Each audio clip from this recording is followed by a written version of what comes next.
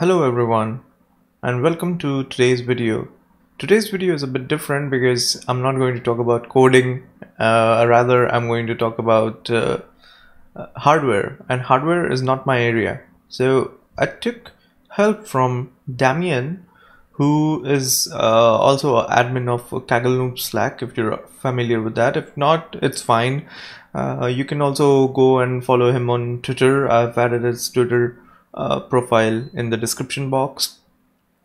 So he helped me and uh, I came up with this video in which I talk about different kinds of parts that you would need to build your data science or machine learning or deep learning workstation, whatever you want to call it.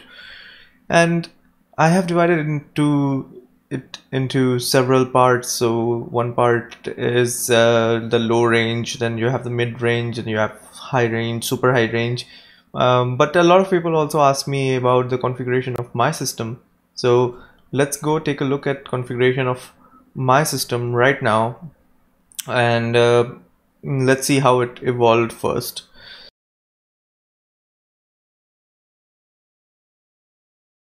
So my system consists of a i7 Core i7 5820 processor. It's very old. I think I built the system in 2016 or end of 2015. And then I have a, mm, had a cooler master, simple CPU cooler. And I have a Asus X99 motherboard I have 64 GB of RAM. I have uh, a lot of uh, hard disk space and I had 850 Pro Samsung. And I built the system all because I won this graphics card uh, Titan X um, in an AutoML competition.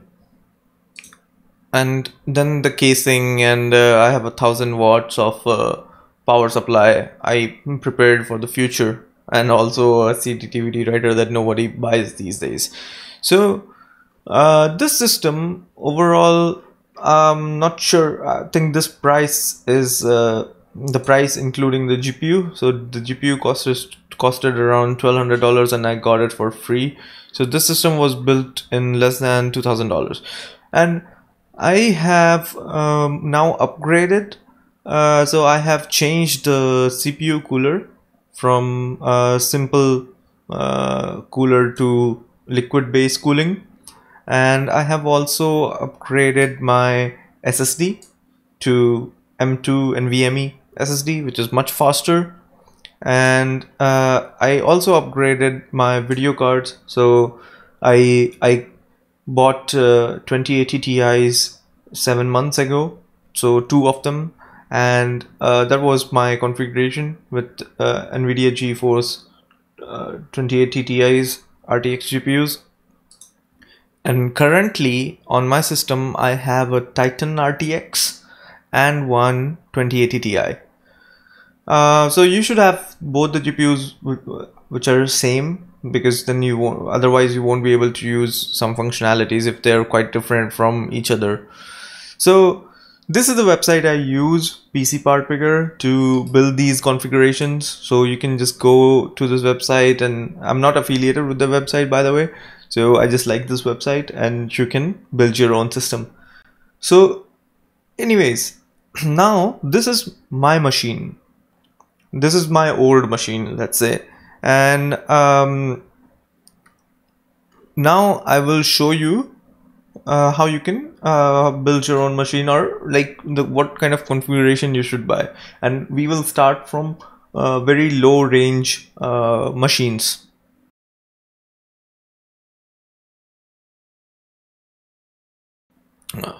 so low range in terms of price.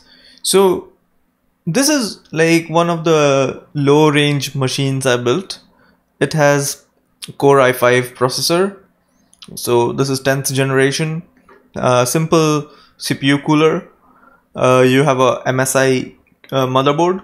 It's a gaming motherboard so always choose a gaming motherboard if possible you can also like have different options for the motherboard. So this motherboard costs 169 170 dollars.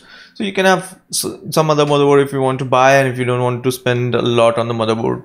But you know. So here i'm using only 16 gigabytes of ram. So this is this is more than enough for a lot of uh, machine learning applications. If you if you have some money to spare then probably upgrade it to 32 gigabytes. So it all depends on your motherboard. And that's why it's very important to so buy a motherboard which supports uh, a lot of ram maybe 128 gigabytes of ram. Because in future when you have uh, money and you want to upgrade your system you probably don't need to buy a new system. Maybe you just want to add some parts. And that's what i did with when i built my system. So i my my motherboard supports up to 64 gigabytes at that time 64 gigabytes was a lot maybe it's less now but at that time it was a lot and then you have samsung 970 nvme ssd so th these NVMe M2 SSDs are like uh, this small and very fast. So uh, go for NVMe uh, SSDs. And then I have a GeForce NVIDIA GeForce RTX. So this is manufa- uh, so this is like uh, NVIDIA is not the vendor uh, here. so it's from PNY and this is six six gigabytes. It's RTX 2060 so this is like a very low range, I would say, um, graphics card that you can use. You can also go for 2070. Um, and then uh, the casing always depends on you. So if you want to go for a fancy casing, you can take a fancy casing. If you want to go for a simple one, you can go for simple one. So only thing that you need to, need to take care of is uh, different kinds of. Uh, it should support like it should have enough space for uh, everything that you're adding here and one more cool thing about this uh, website is you can it tells you the compatibility. So currently it's green so i don't have uh, many compatible compatibility issues and it can it gives me some some notes. And then in this configuration i also have 650 watts of power supply which is good enough. And you can see like it gives you a estimated wattage. So estimated is 389 watts and I have 650 watts it's good enough this machine will cost you around $1100 and this is like a very simple machine. And it will work for your if you're a beginner in data science or machine learning buy something like this. And uh, you're good to go. Uh, then like um here if if you upgrade it let's say you want a better processor or because i5 is a bit old now you maybe you want a better processor. And you maybe you also want a, a better gpu so then you have to uh, get ready to pay some extra money. So this configuration costs around $1100 so let's go to the next one.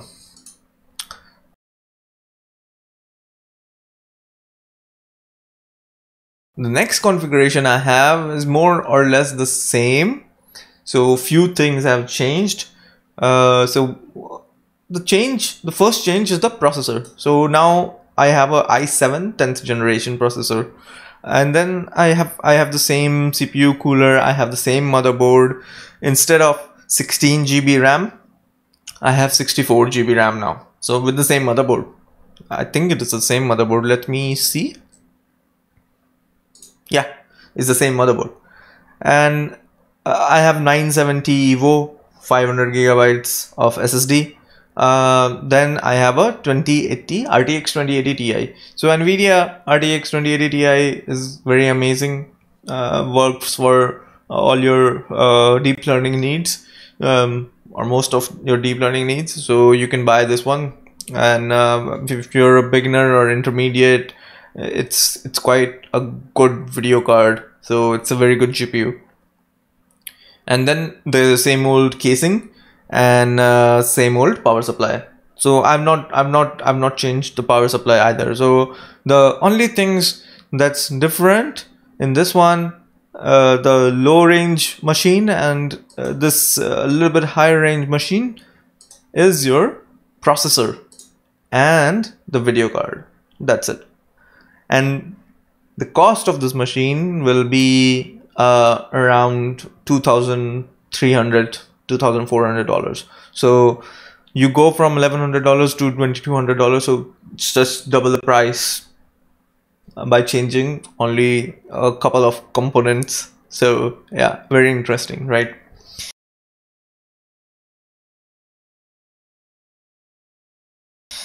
Then I have uh, another configuration and um, this configuration is also I call it mid-range. So you can go for mid-range a little bit.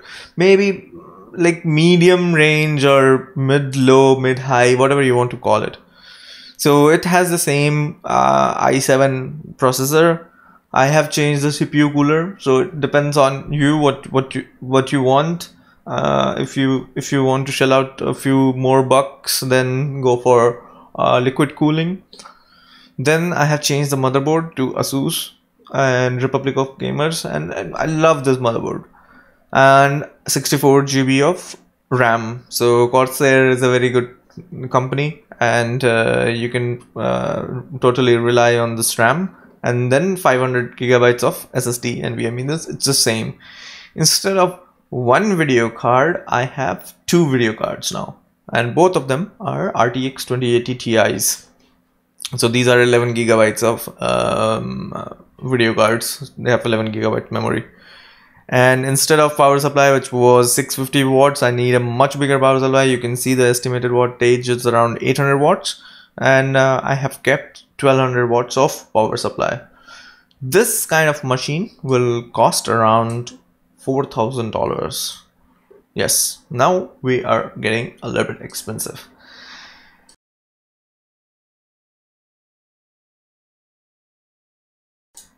From mid-range or medium range, we go to a little bit mid-high range, uh, if you want to call it, call it that. And here you have a CPU, which is i9 10th generation.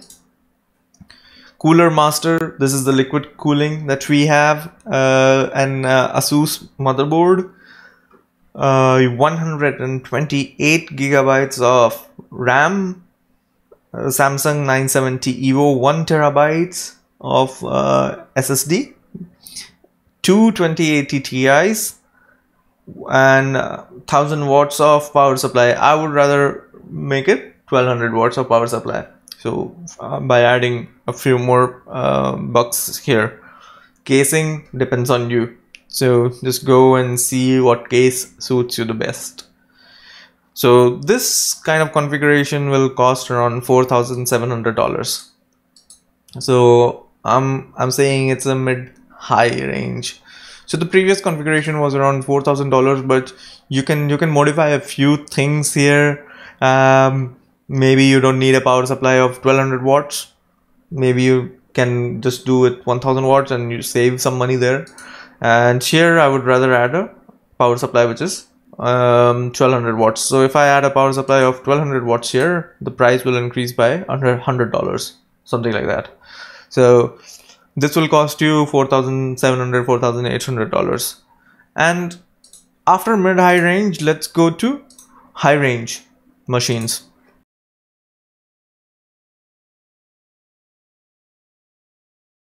so and all these workstations that i'm showing you you can build it on your own. Just buy the parts and build it on your own. Save a, it saves a lot of money.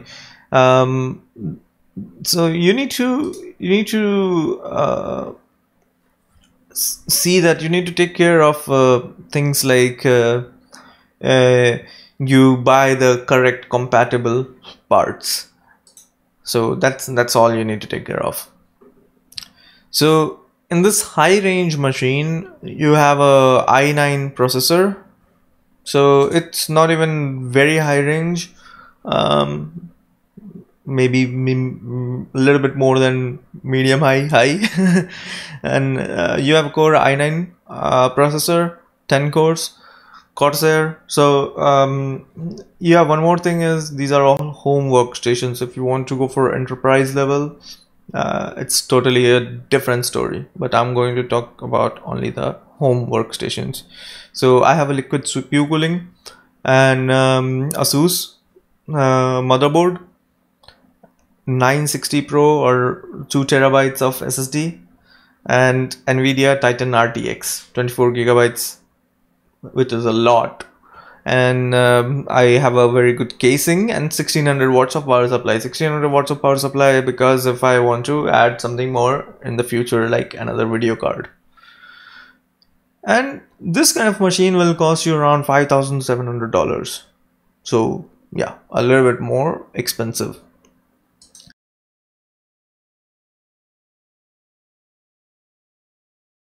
Then we go to one of the really expensive uh, uh, configurations.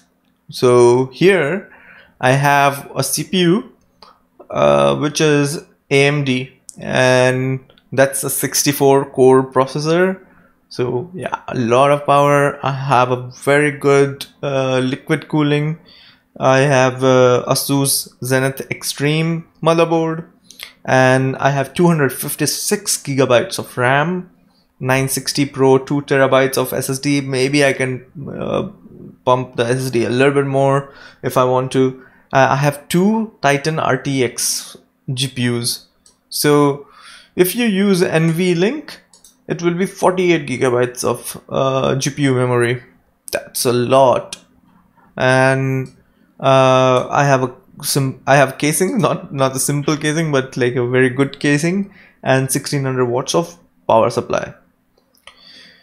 So when whenever you're buying power supply, try to see if it's gold or titanium, something something like that. It's much better. And uh, in terms of uh, like uh, the GPU, Titan RTX is one of the very good GPUs that you have these days, and I've I've been using it for for a while now, and I'm I'm I'm just in love with it. It's, it's super fast and uh, I can train much higher batch sizes. Maybe pro I will I will do some kind of comparison video in which I will talk about uh, um, uh, training deep learning models on 2080 Ti and RTX GPUs separately and uh, see how they compare. So all these parts that I've created, so you can go and create your own part, but all these parts that I've created here, I've shared in the description box. So um, with different tags like low range, high range, mid range, something and things like that. And you can just go and take a look and see whatever suits you. Try to change a few things as long as it's compatible. It's fine. Don't worry about it. And if it's not compatible, you you need to probably um, uh, select select different parts and uh, you can build your own machine. So if i have to if i have to like uh, do machine learning uh, work uh, at home um, i i buy i would rather buy a workstation and if you already have a laptop or you don't have a laptop you can buy a cheap laptop and like a thin laptop that you can carry around in your home and you you have a workstation. So you can also work on the workstation and then you can or you can just SSH into your laptop you uh, use into your workstation using your laptop and you can work there. So you can do everything that you do online uh, or, or like in a browser. Um, so even if you have a like a chromebook or something like that you can use that very easily. So this is today's video and i hope you like it and if you have some suggestions on uh, other parts then let me know. I will share these parts in the description box so you can uh, just go there and take a look